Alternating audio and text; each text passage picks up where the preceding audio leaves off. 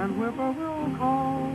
This episode is about Freud's American nephew, Edward Bernays. Bernays is almost completely unknown today, but his influence on the 20th century was nearly as great as his uncle's. I turn to the Because Bernays was the first person to take Freud's ideas about human beings and use them to manipulate the masses.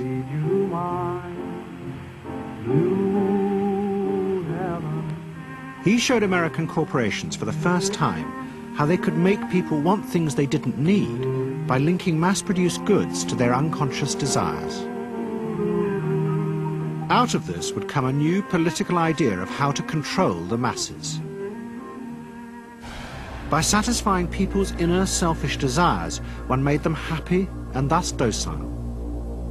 It was the start of the all-consuming self, which has come to dominate our world today.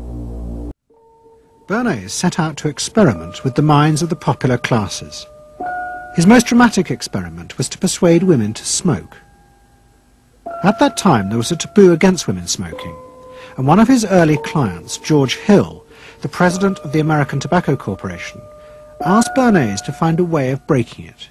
A. A. Brill was one of the first psychoanalysts in America, and for a large fee, he told Bernays that cigarettes were a symbol of the penis and of male sexual power.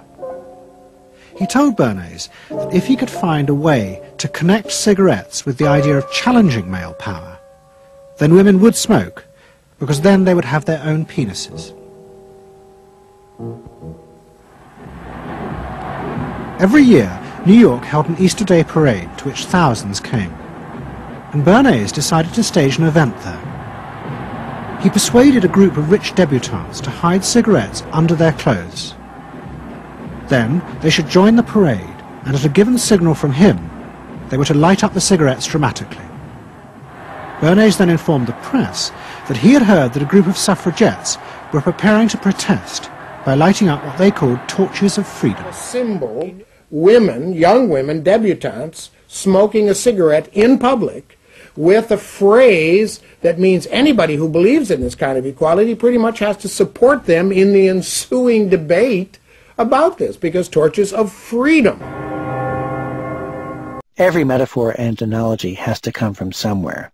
Perhaps they are rare pearls that drop from the pens of an elite corps of bards and scribblers and then are hoarded by a grateful populace.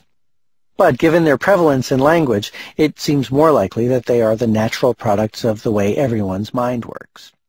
And so the next day, this was not just in all of the New York papers, it was across the United States and around the world. And from that point forward, uh, the sale of cigarettes to women began to rise. He had made them socially acceptable with a single symbolic